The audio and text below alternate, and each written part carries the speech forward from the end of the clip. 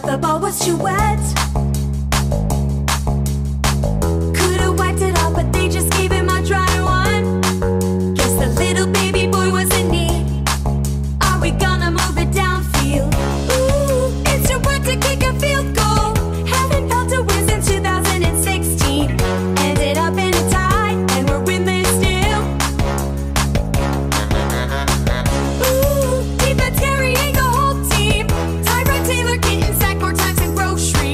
Another flag on the play, and we're winless still. Got a free Bud Light to